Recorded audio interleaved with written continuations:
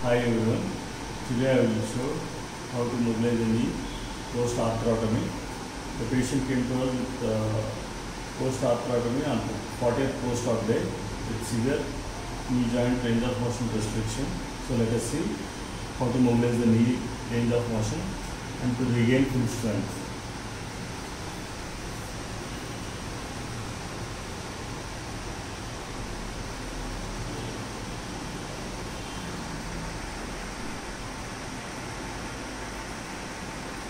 He doesn't have any bony end feel.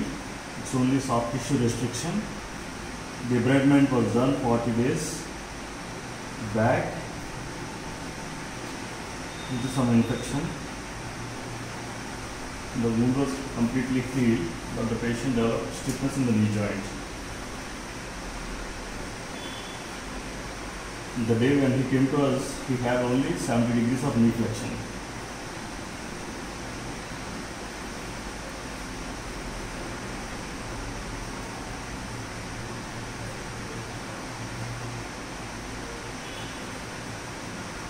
This knee exercise will vary from condition to condition because you cannot follow the same protocol for all the post-operative conditions. For knee replacement it varies, following a fracture it varies.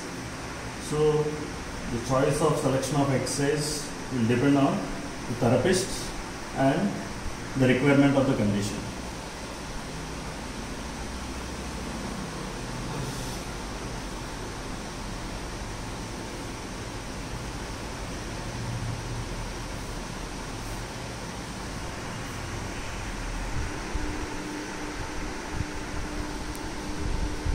These techniques needs to be performed carefully under supervision and undue pressure should not be given. Should be performed gently. The patient should not have any discomfort while performing these movements.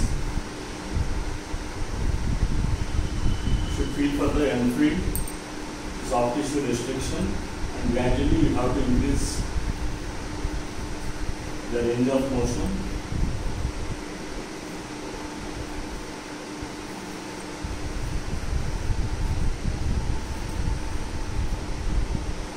you can use soft tissue mobilization techniques and muscle energy techniques కాలు మడవండి వెనక్కి ఆ, నా చేతులు వెనక్కి లాగండి ఇంకా ఇంకా త్వర లేపద్దు త్వర స్ట్రైక్గా పెట్టండి ఆ, లాగండి వెనక్కి ఇంకా ఇంకా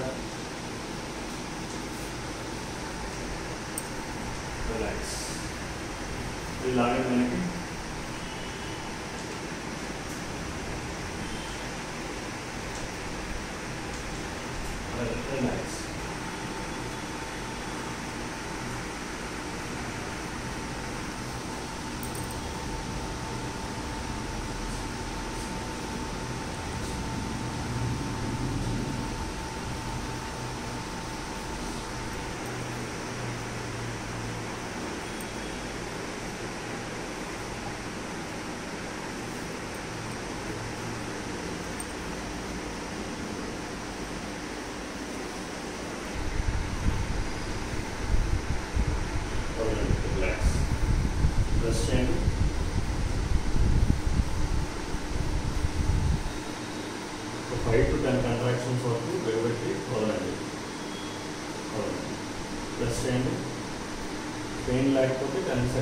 సెకండ్స్ వరకు హోల్డ్ చేయొచ్చు పెయిన్ ఉంటే ఫైవ్ సెకండ్స్కే రిలీజ్ చేసేయండి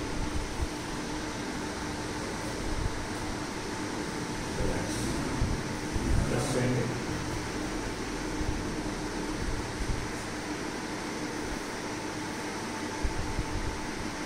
Relax. Uh, this is for strengthening the VMOs. You can ask the patient to contract his knee and just hold the ankle. The leg portion will be the and he should hold the contraction for 5 to 10 seconds. So, by doing this, if there is any extension lag that can be recovered and he can gain terminal range extension completely. This 5 to 10 repetitions and each time the, patient should hold for 5 to 10 seconds. And initially we should start with 5 seconds. Gradually you can progress it up to 10 seconds fully and 10 rotations.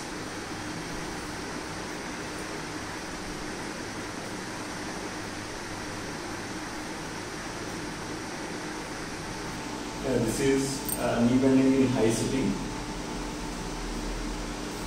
But here chances for the hip movement for the uh, the chances for the hip joint to go for quick movements. So we have to be carefully uh, mobilize the knee joint. Whenever we are doing in high sitting position. But this is also very useful for uh, regaining the knee range of motion, especially to increase the flexion range of motion.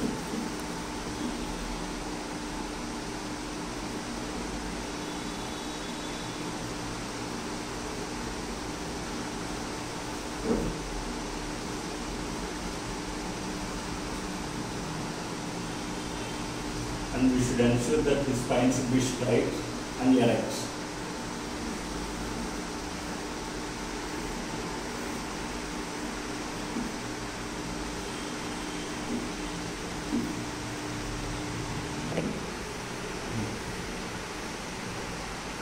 Sharp and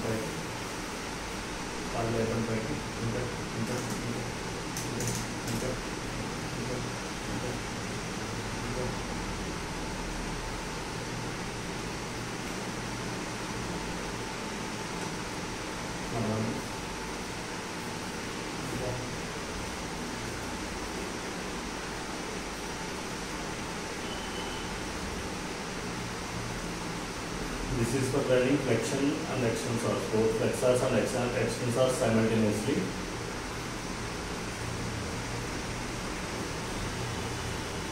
అడవండి ఇంకా కొంచెం అడవండి shop and బయట ఇంకా ఇంకా అతని వరకు రావాలి ఇంకా clear fold చేయండి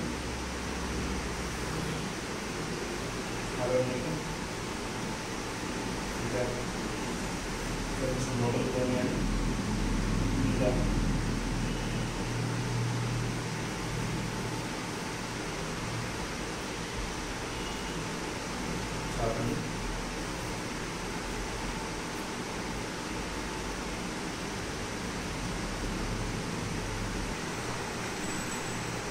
These are field.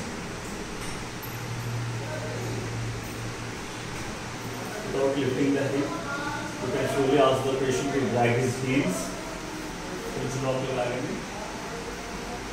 I will start Yeah. Yeah.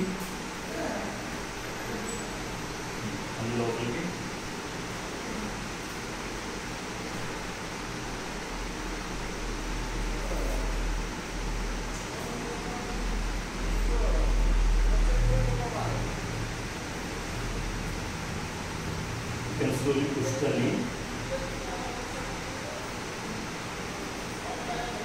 and hold for 5 seconds after getting maximum range, then slowly bring the ankle forward. And this can be repeated for 10 times, 10 repetitions and holding for 5 seconds. These are the wall flex with the wall. So this open and close kinematic chain exercises will help in increasing the knee range of motion. Definitely you can see it's- he's getting 90 degrees of knee flexion.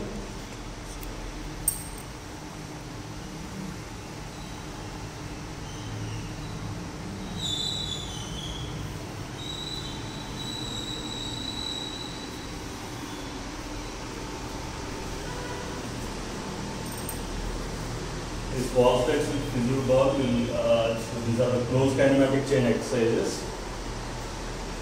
And you can see the knee range of motion.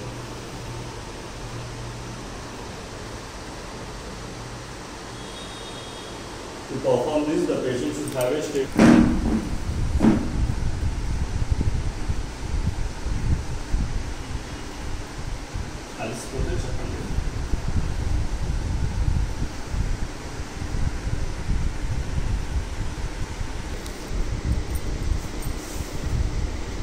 This exercise can be performed with paraloops, mainly for increasing the knee range of motion in prone lying and also for strengthening the hamstrings.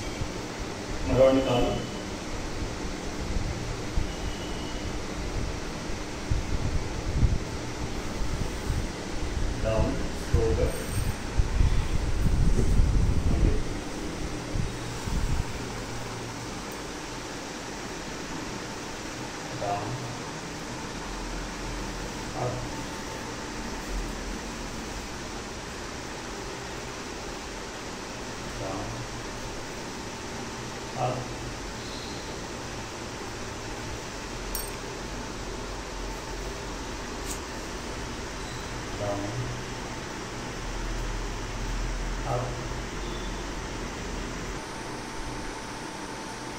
So here when we are doing with this Taralu, this is a open kinematic chain exercises and when we use the physio ball for the wall slides, it is a closed kinematic chaining exercise.